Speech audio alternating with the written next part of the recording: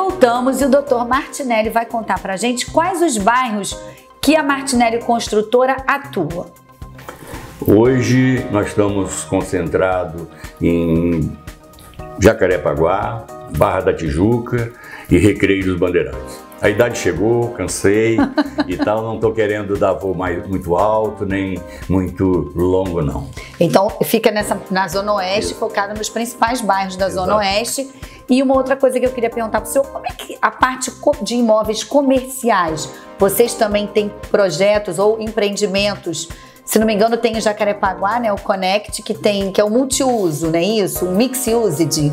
Exatamente. Em Jacarepaguá nós lançamos é, um, um comercial na Jeremário Dantas, um na Tindiba, só comercial. Sim. Pronto, está 100% pronto e tal, já está sendo habitado. Nós, hoje, por acaso, nós vamos inaugurar o shopping, hoje às 5 horas da tarde, lá em Jacarepaguá, na, lá na Taquara, né? próximo da Praça Jauru. Né? E, e tem o Connect, que nós ousamos, né? Nós ousamos na, no momento, nem imaginávamos que a crise ia chegar tão, tão forte, né? Mas felizmente nós conseguimos entregar, né? Um, um prédio onde ele tem uma, uma infraestrutura de um resort. Olha, que Nós temos lá academia, nós temos é, prédio comercial, nós temos cinema, nós temos salão de jogos, nós temos piscina, nós temos pet place, que é para que possa os cachorrinhos da, da, da do condomínio ser tem tratados, né? tem... o espaço deles, tem campo de futebol, quer dizer, dois mil e tal metros quadrados de lazer, né? E 700 metros de um parque aquático.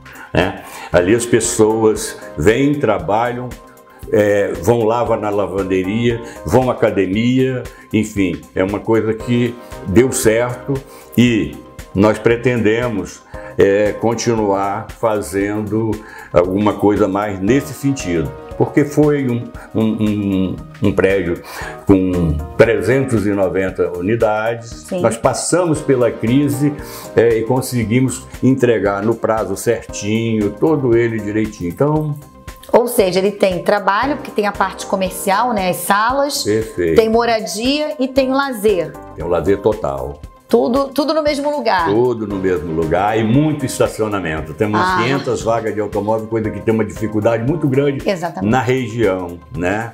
E é, aí supriu essa necessidade. Supriu a necessidade. E agora conta pra gente, na sua opinião, como é que tá o mercado nessa reta final de ano e a perspectiva da Martinelli já para 2020? Olha só, o mercado ele começou, a curva mudou, né? O mercado é, respirou, a gente é, eu ouço muito todos os economistas que, que eu posso usar, é, o que eles estão fazendo de perspectiva futura, né? Então, é, o mercado está exatamente é, direcionado da forma que eles estão enxergando. E isso fez. E a gente percebe, né? A gente percebe a quantidade de caminhão de tijolo que passa na rua, a quantidade de caminhão de, caminhão de concreto que está circulando. Né? Mudou, né? né? Tá mudou, mudando, né? Mudou, mudou, mudou bastante. Ah, é, ainda é pouco, ainda é pouco, mas não se muda é, uma economia de um dia pelo outro né? Então, o que que acontece? É, eu estou esperançoso, né? Estou esperançoso. Nós temos é, dois projetos é, no forno pronto. Imagino que no primeiro semestre a gente é, iniciam todos dois. Tá, e aí dão mais ou menos quantas unidades, assim, esses dois empreendimentos, você pode falar pelo menos adiantar os bairros? E quantas unidades vão, somam os dois empreendimentos? É, os dois empreendimentos, um 162, um 160 e um 72 unidades. Então, é, isso fica na região entre Barra e Recreio. Né? E o senhor acha, aproveitando, acabei interrompendo o senhor, como é que tá, já que a gente está falando muito de Barra e Recreio, os estoques, já, o senhor vai, já tem projeção de lançar para o início do ano. Como é que está o estoque? Porque a gente ficou também com muito estoque, principalmente no recreio, né? Mais de obras por incorporação, né? De empresas que trabalham né, com a incorporação. Como é que tá? Tá diminuindo? Qual, qual a opinião do senhor em relação a isso? Está diminuindo, está diminuindo. É evidente que o comercial sala principalmente, existe um, um, um, estoque grande e uma demanda ainda reprimida. O residencial, o residencial é, não, não vejo grandes problemas. A gente vê uma situação é, específica aqui ou ali. Uma coisa pontual. Pontual, né? pontual que tem, que, que ainda tem bastante unidades, mas eu acho que ainda num preço diferenciado existe uma demanda grande reprimida. Agora eu tenho uma curiosidade. No seu nicho, que é obra por administração, né? Existe muito investidor ou, ou, é meio, meio a meio? Quem está comprando o imóvel mesmo para morar ou, ou não? Eu tenho, eu tenho meia dúzia de investidor que anda comigo há mais de 20 anos. Né? Quando a gente inicia, normalmente a gente tem é, entre 30% e 50% é, vendido.